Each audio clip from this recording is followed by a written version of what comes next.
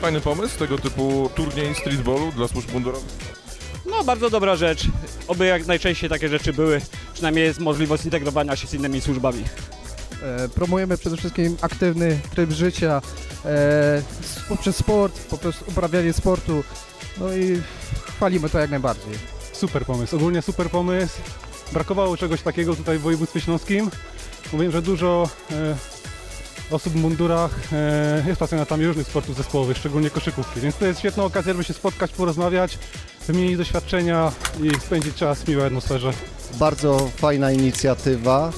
Można zaprezentować się nie tylko w mundurze, ale również jaką kondycję fizyczną posiadamy.